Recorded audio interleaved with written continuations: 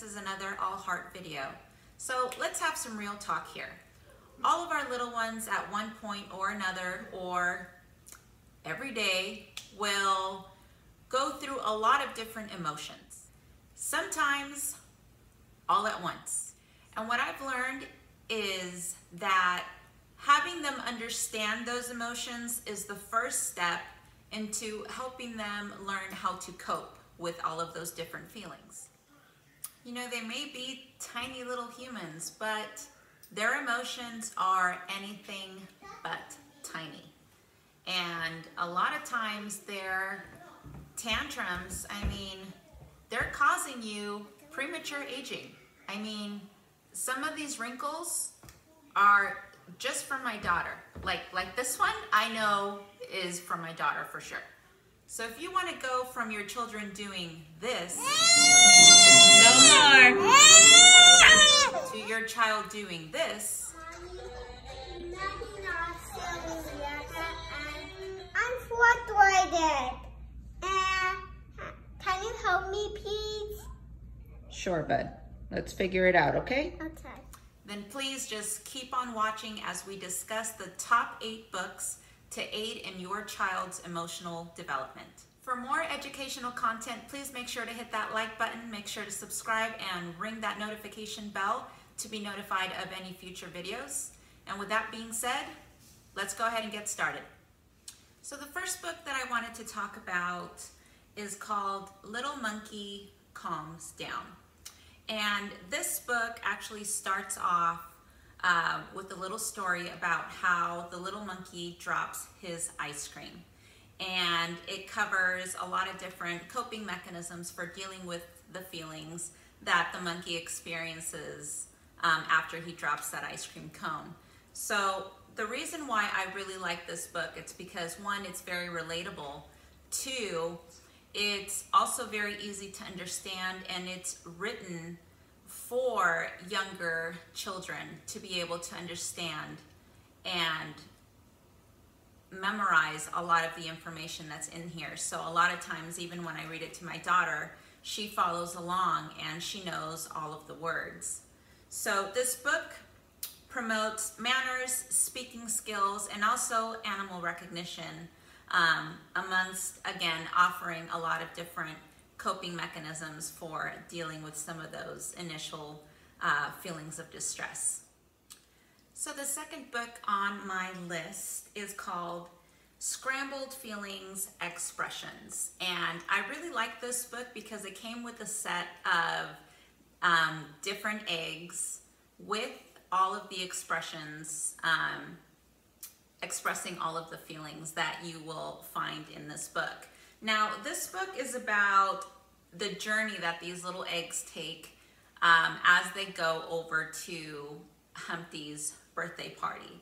And it discusses all of the obstacles that they face during that journey and how those obstacles in turn um, make them feel a certain way. Because it's one thing to say, you know, you're angry, you're happy, you're sad, without really knowing what those words mean. So it's nice that in this story, they're able to place those situations and correlate those feelings that are associated with the situation that the little eggs um, go through. That way it makes it easier for your child to identify what feeling they are feeling if they're faced with a similar situation in the future. So again, scrambled feelings expressions. So moving on to book numero tres. That's it. This is called In My Heart, A Book of Feelings. This is a beautifully written book and it contains a whole bunch of really nice metaphors and absolutely beautiful, beautiful graphics. And again, just like um, the expression book, it goes through different scenarios, which again are not only relatable, but help in describing and associating those scenarios with those feelings, making it easier for your child to not only relate, but also to identify what feelings they are currently going through. So this book doesn't give any coping mechanisms, but it does a very good job of helping your child to identify what emotion they're feeling at that time. For example, this page where it says, when I get really angry, my heart feels as if it's going to explode. Don't come near me. My heart is yelling, hot and loud. This is when my heart is mad.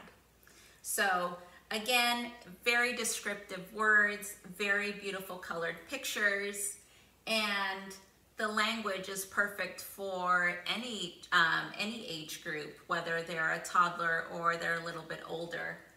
So again, this book is called In My Heart, A Book of Feelings. So the fourth book is called So Many Raisins to Be Happy, So Few Raisins to Complain. And this is a very cute and funny read. And as you can tell by the title, a play on words because it should be, you know, so many reasons to be happy, so few reasons to complain. So I really enjoyed this book and um, it's the perfect book for any age group. And this book focuses on the power of positive thinking. So this is a story about a raisin who starts off his day not feeling quite like himself and is looking at the world around him the way that a person who looks at the glass half empty would. But by using the power of positive thinking, he turns that bad day into a really good day and those bad situations into good situations. So for example, on this page, he's saying that the sunshine is gone and it's raining and that's a reason to be sad. And on this page he says, well, rain makes things clean and green. That's a reason to be glad. So again, he'll go through different scenarios where you know, he's down in the dumps about something, but he takes a different outlook on it. And in turn, you know, it turns that frown upside down. You know, I think it's really important to be able to teach our children to take situations and try and look at the brighter side of them, um, especially when they're very young, because it could be something that could escalate into um, something worse, especially, you know, as they get older um, it's very easy to just focus on the negative things surrounding us and it's definitely a lot more difficult to climb out of that mind frame. So um, that book is definitely um, a step in the right direction and it was um, a very fun read for them. And again, it's very relatable and it's a story that I think your kids will enjoy and understand. So let's move on to book number five. Now this book, I think you're a little bit more familiar with. Um, I think it's a book that we actually read, that I actually read growing up. Um, so this is called Alexander and the Terrible, Horrible, No Good, Very Bad Day. And it follows the story of Alexander, wakes up on the wrong side of the bed, and throughout his day, his day just gets progressively worse and worse and worse.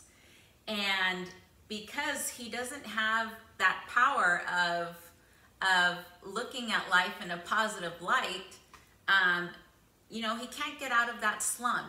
And the funny thing about this book is that he keeps thinking, well, if I lived in Australia, then this wouldn't be happening to me and I wouldn't be having a bad day. But the joke at the end of the book is his mother saying, well, even people in Australia have a bad day. So I think this book is geared more towards a little bit older children as, you know, the writing is um, a little bit longer.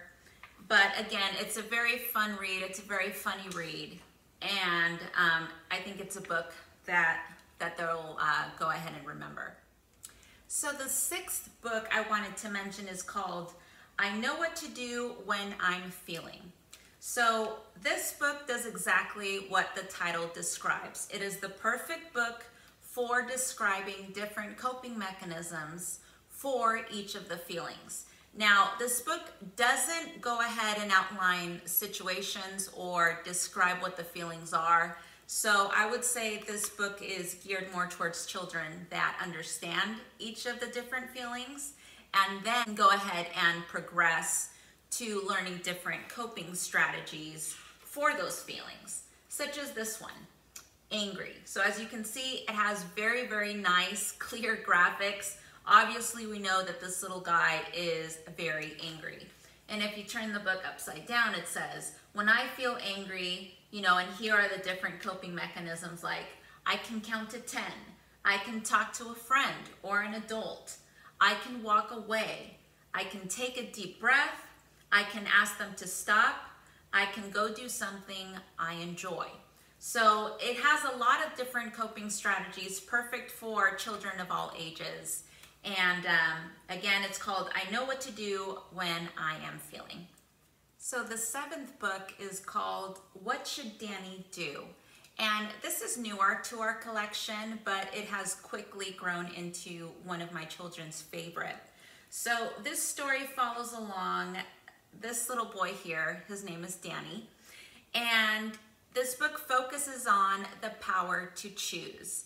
So he's confronted with different situations and at the bottom of that of um, each of the pages, it gives your child, your son or your daughter, the power to choose what Danny should do. So one of the choices is always positive and one of the other choices is negative. And all of those lead to consequences. So it teaches your child that there are consequences to the decisions that they make, especially when they take those choices um, because of whatever that they are feeling.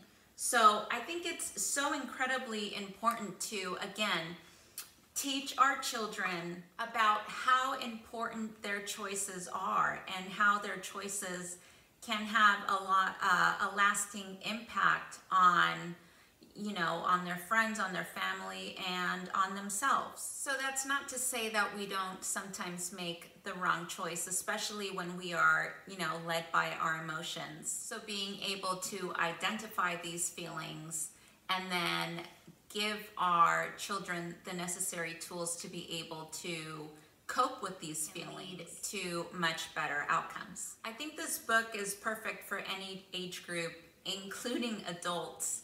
And um, it's so creatively written. Um, I know that your family is really going to enjoy this one. So the final book is called Dear Girl. And the reason why I left this one to last is because it's a little bit different than, you know, identifying different emotions. This is more about embracing who you are as a girl, your differences, your emotions, your hormones, all of the things that make you beautiful. And it really teaches you how to love yourself for who you are. The girls in this book come in all different shapes, sizes. Some are tall, some are short, some are from different cultural backgrounds, some like to dress differently.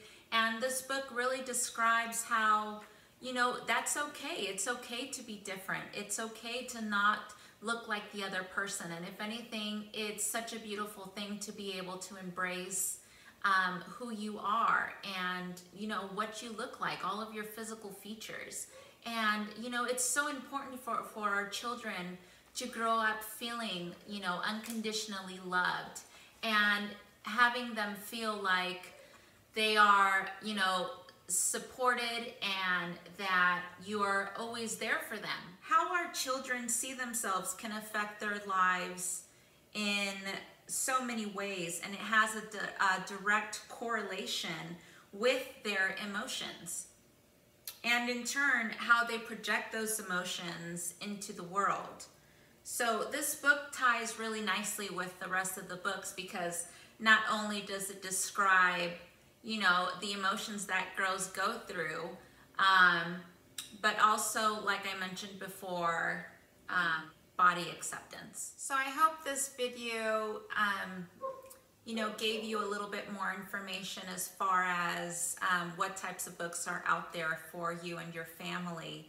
Um, these are my top eight recommendations, and I can tell you from experience that all of these have helped in aiding the emotional development of my children in one way or another. So if you gained some useful information and tips in uh, this video, please make sure to hit that like button, make sure to subscribe, and make sure to hit that notification bell to, again, be notified of any future videos.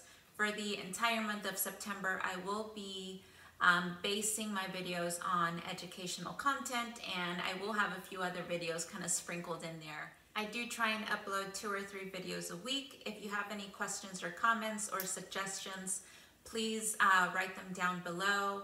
And uh, with that, we'll go ahead and end our video, and I will go ahead and see you guys very soon. Thanks again. Bye.